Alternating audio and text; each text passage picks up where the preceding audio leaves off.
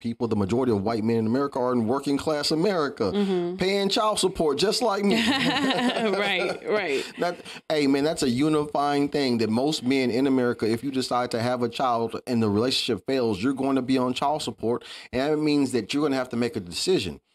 I'm going to support my child, and even if my ex-wife or the person I had a child with it has someone else and is giving government assistance, she's going to have three forms of income: her new man, government assistance, and me.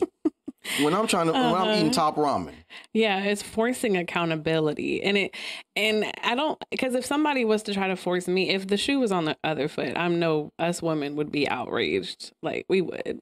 The most accountable thing is to have a family structure for two people to negotiate how we're going to have a relationship and how we're going to raise this child. Yeah. And if we're not going to be together, then we have to have shared parenting time. If we have to like go half on daycare, whatever it is, we have to negotiate that. And if you tell the, the state to turn me into a criminal and then incarcerate me, Mm-hmm. it does nobody any good. There's a war on families, there's a war on men, Mm-hmm. and all the while they're passing bills that are anti-human. And I say anti-human is any behavior that does not produce life. Right.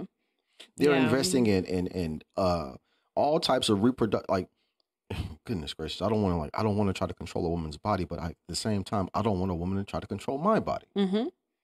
But I can't say that out loud because then a woman will try to shame me and say, You just need to be a man or you shouldn't have sex. But women are mad now because the government is trying to control our bodies by saying if you get an abortion, this will happen to you, or they're abolishing the have to drug to. of I want to be because you know it, it's so bad. I don't want to censor your speech, but art, artificial intelligence will censor your speech. Mhm. And um, sending little babies to go see Jesus to talk about that conversation for some reason it trips the algorithm and they get so sad because they Oh, don't want to okay. acknowledge the fact that that that that is not a good thing. Yeah.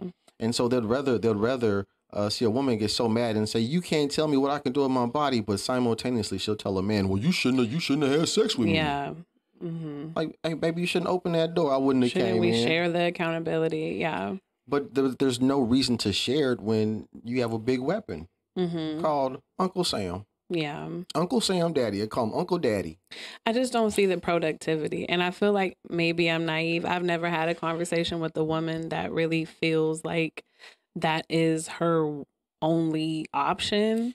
You have to be so careful because you sitting here and having this conversation with me. There's a whole group of women out there So "You pick me." Oh, you yeah. me." Remember that? man, how dare you? You try to spend like Mm-hmm. to be responsible and to actually practice and believe equality makes me for for the black community, it'll make me a coon, and for Mm-hmm. you, for the female community, it'll make you a pick me. Yeah.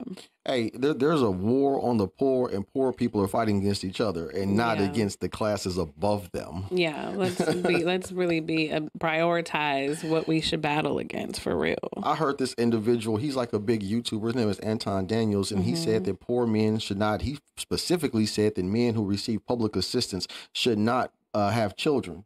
And when I heard that, all it did is it took me back. It took me back to the welfare system. And uh, prior to 1977, it might have been some cases after 1977, but if a, a black woman was uh, on government assistance and she had a daughter that was uh, a hit, mm, excuse me, that hit puberty, Mm-hmm. they're going to give that, that, that child a hysterectomy.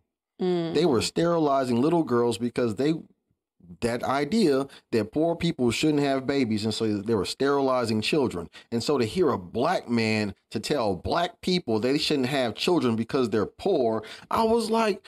Do you understand your history? And I'm not even trying to be ugly to you, but come on, like that's an irrational conversation. To have that conversation is saying that the majority of men in America should not reproduce, and that's not based on government assistance. That's just based on economics. Yeah. And so and so like men in America had to fight uh, for labor rights so they can make enough money to sustain their family. And then we had a competing ideology of feminism. And the feminists said that I need to go to work. And so now you got men and you got women in the workplace competing with men for the exact same position. Mm-hmm. Now they have it. They got 50% of the workforce and they do not want to have 50% of their civic responsibility.